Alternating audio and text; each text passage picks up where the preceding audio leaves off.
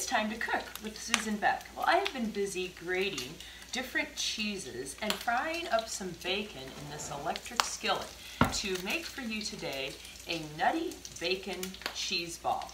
Now, the Packers might not be in the Super Bowl this year, but many people will be looking for a delicious treat. And this is a great recipe that I thought I'd make for you that you could try for your Super Bowl party in the coming week. I had this recipe at my mom's house over Christmas. It was a new recipe she had come across, and I have to say I found it to be absolutely delicious. All right, I think it's time for me to get my bacon out of this pan before we talk about other ingredients. This is getting nice and crispy in here. I like to lay it on a paper plate covered with a couple layers of paper towels to absorb all the grease that you get from bacon. Now I got my bacon started while I was getting everything else set up because bacon is easier to handle for a recipe like this when I want to cut it into little bite-sized pieces and little crumbles if I let it cool well first. So time to unplug the electric skillet. We'll slide that out of the way and there is our bacon. This was 10 strips of bacon. Half of it will go into the cheese ball and half of it will be around the outside. For today's Bacon Nutty Cheese Ball, we will be using bacon and four kinds of cheeses. We have a brick of cream cheese, that's eight ounces, a quarter cup of blue cheese, a cup of cheddar, and a cup of Monterey Jack, mixed in with a half a cup of milk. We will be using poppy seeds, parsley, green onions, and pecans with a little salt and pepper for added flavor. We'll serve this up on a nice plate with some crackers. So as you can see, there are many ingredients in this. I'm going to set the poppy seeds, the pecans, and the bacon and the parsley all off to the side because those will be used in a little bit. I'm going to take my brick of cream cheese and put it into a mixing bowl along with a half cup of milk. These two ingredients will now be mixed together. I'm just going to use my hand mixer today. And beat this. I'm going to want that on a low temp speed. And I'm having trouble getting on a low speed. To get those two mixed fairly well. All right, next we will be adding into that our one cup of Monterey Jack and our one cup of sharp cheddar cheese. You would not have to use sharp cheddar cheese. You could use any cheddar you wanted, really any two cheeses that you'd like to use. I'm sure this would turn out just fine with mozzarella or something like that. All right, I, blue cheese I still need to crumble. Now some people think they don't like blue cheese, but I think in this you're gonna find it adds just a nice little bite to the recipe. Um, my husband and I, we absolutely love blue cheese and we love it on our burgers and we love it on lettuce salads, and we always have blue cheese in the house. So this is a quarter cup blue cheese. You could always reduce that a little bit if you were uncertain as well about that type of cheese. But give it a try. The only, the only way you know if you like something is to give it a chance. All right, next ingredient is going to be our green onions. We're just going to cut off the little root part of all of these. And then we will be using the um, white part of the onion at the bottom of these little green onions. So these are my green onions. And um, I'm gonna cut fairly far up. The green part is perfectly edible as well. So this was just one rubber banded package of them from the store. So I'm gonna just slice those up. Until I get slightly to where the green is. Ah, stop right there, I think. All right, and that goes into my bowl of cheeses as well. Right, I'm going to move some of these things out of the way here as we get ready to stir all of our cheese together. For seasonings, I am gonna do a few cranks of fresh ground pepper and some salt. I do about a half a teaspoon of salt there. The recipe just says salt and pepper to taste. I was just thought this is just fantastic when I had it at my mom's. I mean, I love my dried beef cheese ball that I've posted, and I've had a ham and cheese dip that I really like, but I don't know, there was something about all these great flavors in this one that it might be replacing all my other cheese ball recipes as the best one. All right, I am going to put in half of my bacon. All right, so I had a smaller cutting board ready here. So I want five slices of bacon right now. We'll set the other five to the side. And I'm going to be able to handle this just fine with my hands just because I was able to get that cooked first and it cooled off nicely. Um, you know, cooking bacon, kind of a greasy mess. Um, sometimes if you don't want to do that, you could do this with some of the bacon bits you buy in the store, but buy the real bacon bits. They even sell pre-cooked um, bacon nowadays in the store, so that would work as well. I've had it, it tastes okay. Um, it's not too bad, although I kind of avoid it. I'm sure there are a lot of preservatives in it which allow them to pre-cook the bacon and then package it and haul it to the grocery store for you to buy. So in goes that. Oh, and half of our nuts. Now I want my nuts finely chopped. These were chopped pecans, but I would like them into even smaller pieces. I'm just going to put half in for now. The other half will go around the cheese ball after it has been refrigerated for a little bit. So I have this handy dandy nut chopper here that works great for chopping nuts and I'm going to make them pretty fine so that they uh, get spread throughout and you don't just get one big chunk of um, nut there. So in go half of my nuts. That was a three quarter cup and I'm using half of it. So I guess that would be a 3 eighths cup for all you math students out there watching me.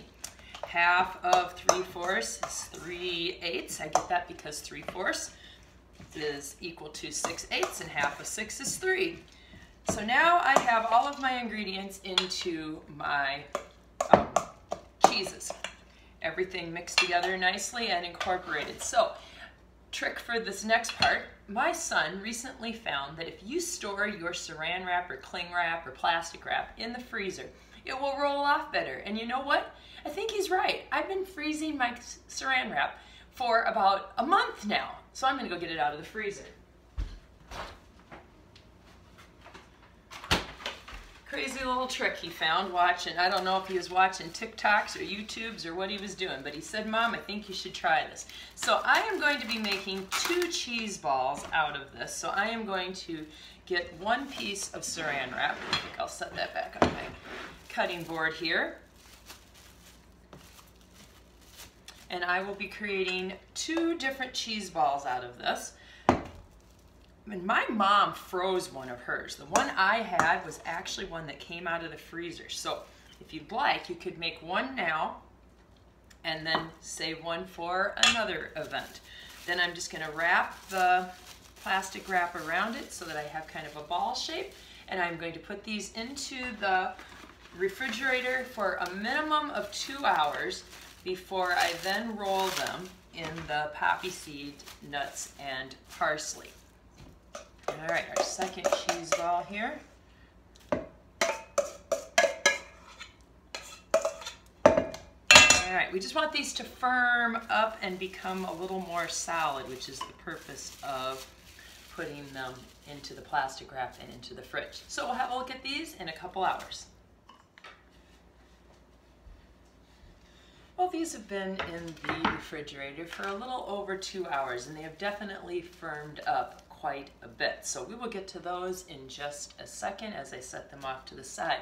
First, we need to chop the rest of our bacon and our pecans.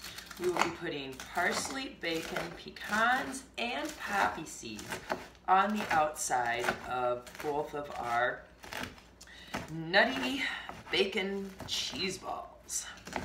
So I want my bacon in some very small pieces and the same is true with the nuts. Now, putting this um, coating around the outside of our cheese balls would be completely optional. You could skip this step and just put those into a bowl or plate as they are removing that plastic wrap, of course. All right, give a few more chops here to get those nice and diced.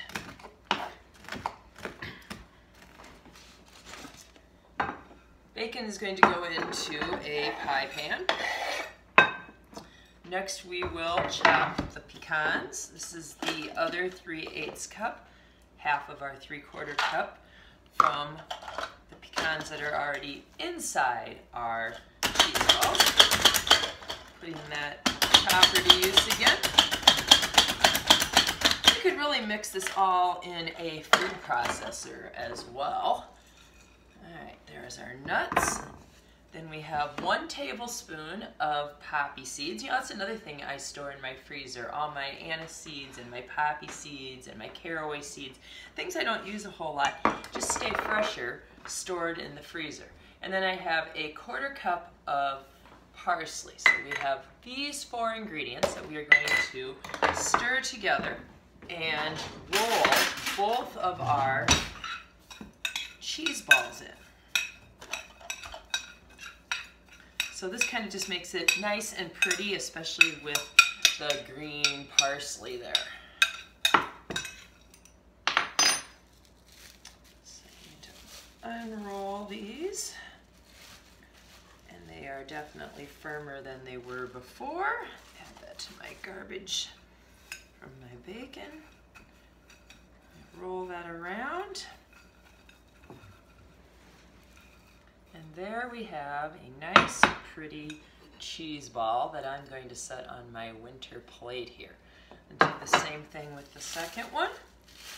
So one of these I think I will let the family eat tonight, and the other one I am going to save for the upcoming Super Bowl game. So I will put that one into the freezer. As I mentioned, my mother had made these ahead of time and got them out when we arrived for the holidays as a little snack one night.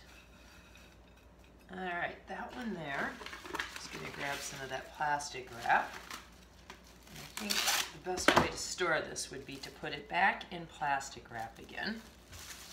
And then after I have it wrapped in the plastic wrap, I'm going to stick it into one of my containers here that will seal nicely and I can pop this into the freezer.